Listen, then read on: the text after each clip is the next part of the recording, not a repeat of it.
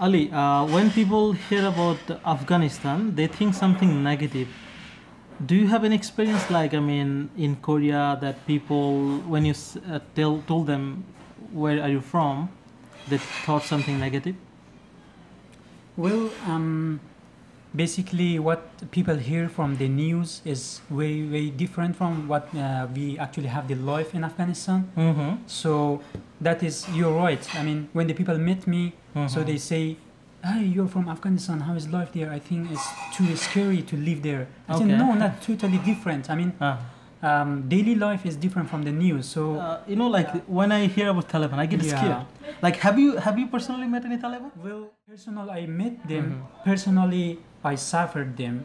Okay. even even I can tell you this uh, my personal personal personal experience that I haven't talked to anybody but I can say it to you That would be really nice. so one time I wanted to go to bazaar to market Market, yeah. to buy something Hmm. I had my bicycle and one of the Taliban uh, who had the kind of guard he, he was a kind of guard and um like security He, guard he was a guard. he was a security Okay. guard kind of police I can Okay, say okay. police Like Taliban So- police. yeah the Taliban police Hmm. so we can change it to the police name but Okay. but at, at that time there was not police or Hmm. things so they were as a uh, like working as So they, police they were controlling everything. controlling like- the area he Hmm. called me hey boy come here Hmm. and uh, he also called me hey Hazara because when Your race my race name was Hazara so Okay. when you call by the race it is very offensive it's very okay, very okay. offensive so he called me called me hey Hazara boy came here Hmm. and uh, I had it no I had not any choice because I was scared I Mhm. needed to obey everything Mhm. so I went to him and I said yes sir what what uh, what uh, I mean what do you want to like what do you want to say to me Mhm. he just slapped on my face Oh my very God. hard so hard that I couldn't hear any words after that Oh on that time and he he just told me go away I mean, he did it for did uh, nothing, right? just for fun and then the Oh other other dear friends they were just laughing at the beside that, that is so insane, you know. It now is. you are in Korea, Mhm. right? Like Yeah. for living here for last couple of years. yeah Do you see any significant differences in your life uh, in Korea? Yeah, I could, I could see a lot of differences.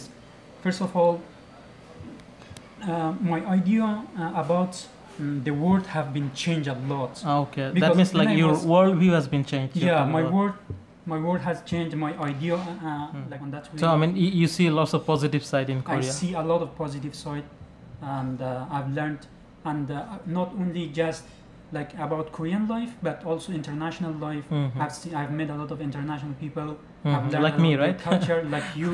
so yeah, Ah. this is very. Uh, this- was very very nice. Mm. Um, so I have I, a lot of people shared their idea, Mhm. um, their thoughts. So when I was back when I when I, when I was uh, when I was back in Afghanistan, I was had much more like um, Islamic religious thoughts, Mhm. something like that. Um, but when I came to Korea, it has Mhm. been changed a lot. Mhm. So I'm now respecting to any ideology as long as it's peaceful. Mhm. Uh, yeah, I mean, you became more open-minded. I become more open-minded. Yeah. That's that's a good uh, development yeah. for you. So uh, you're graduating this semester, right? Yeah, I'm graduating. All right. I mean, congratulations. Yeah, thank you, man. uh, I hope you find a good job or you Mhm. get a good scholarship to continue Mhm. your masters, continue Mhm. your education. Thank, you Thank so much for Thank your you, man. interview, for your Yeah. time.